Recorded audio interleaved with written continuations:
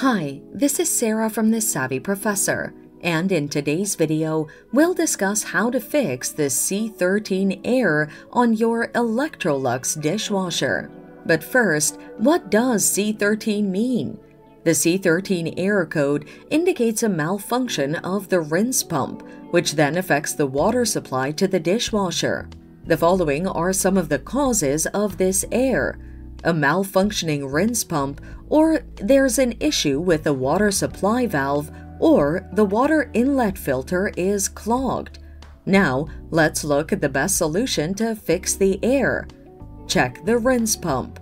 To solve a rinse pump malfunction on your dishwasher, check to ensure that the rinse pump is properly connected and functioning. Check the water supply valve. Check to see that your dishwasher's water supply valve is not blocked. Clean the water inlet filter. Clean your dishwasher's inlet filter and make sure that it's not clogged. This will allow the water to flow to the dishwasher unrestricted. If the error code persists, call in a technician to fix the dishwasher.